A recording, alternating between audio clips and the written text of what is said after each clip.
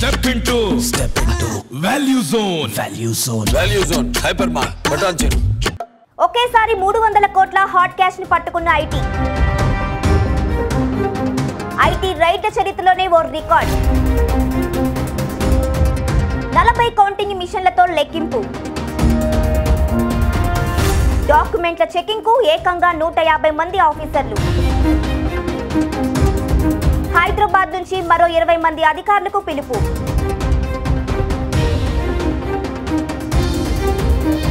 ఈ సోమంతా ఓ రాజ్యసభ ఎంపీగా ఆరోపణలు.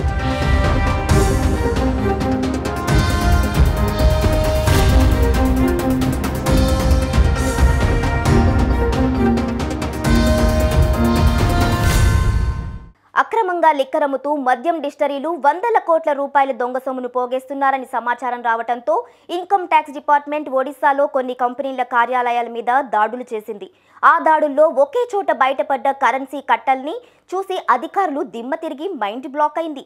ఆ సొమ్మంతా కాంగ్రెస్ పార్టీకి చెందిన ఓ రాజ్యసభ సభ్యుడిదే అన్న ప్రచారం ముమ్మరం కావటం పొలిటికల్ ఎరీనాలో ఒక పెద్ద చర్చ మొదలైంది. ఇంతకీ ఇంత సొమ్ము ఎక్కడ పట్టుబడింది? అది ఎవరిది?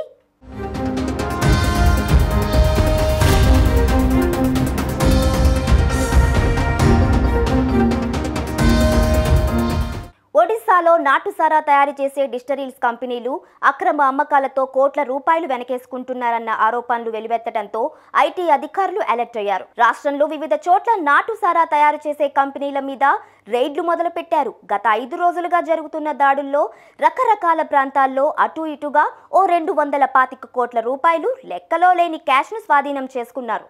అన్ని డిస్టలరీస్ మీద దాడుల తరహాలోనే ఒడిశా కేంద్రంగా పనిచేసే బౌద్ధ్ డిస్టలరీ ప్రైవేట్ లిమిటెడ్ అనే ఓ నాటుసారా తయారీ ఫ్యాక్టరీలోకి కూడా అడుగుపెట్టారు. బోలంగిర్ జిల్లాలో ఉండే ఈ సంస్థ కార్యాలయంలోకి అడుగుపెట్టిన అధికారులకు అక్కడ కూడా ఓ ఐదో పదో కోట్లు దొరకచ్చు అనుకుంటూ సెర్చ్ మొదలుపెట్టారు. ఏకంగా ఆ కార్యాలయంలోని బిరువాల్లో వారికి దొంతర్లు దొంతర్లుగా పేర్చిన ఐదు వందల రూపాయల కట్టలు ఏకంగా రెండు వందల ముప్పై కోట్ల రూపాయలు కనబడ్డాయి. ఆ సంస్థకు సంబంధించిన తిత్లాగఢ్ సంబల్పూర్ రాంచీల కార్యాలయాల్లో మరో అరవై కోట్ల రూపాయల సొమ్ము కళ్ళబడింది. తమ ఉద్యోగ పర్యంలో ఒకేసారి ఇంత పెద్ద ఎత్తున ఎక్కడా ఇంత బ్లాక్ మనీ చూసి ఉండకపోవడంతో ఆ అధికారులకు దిమ్మ తిరిగిపోయింది.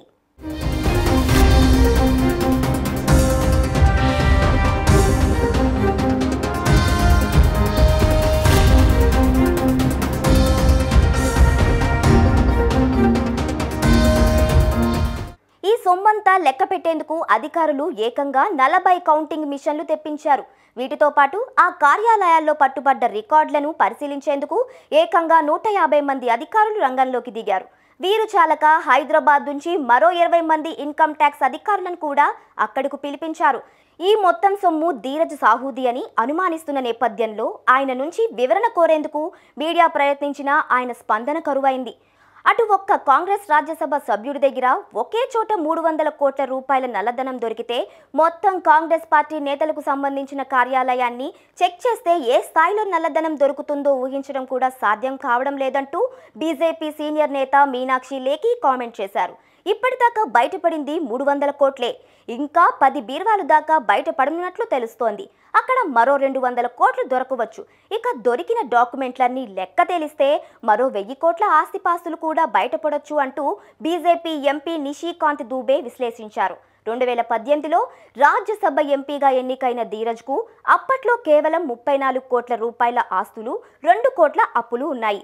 అవి పదిహేను వంద కోట్లకు ఎలా చేరాయో కాంగ్రెస్ పార్టీ సమాధానం చెప్పి తీరాలంటూ నిలదీశారు.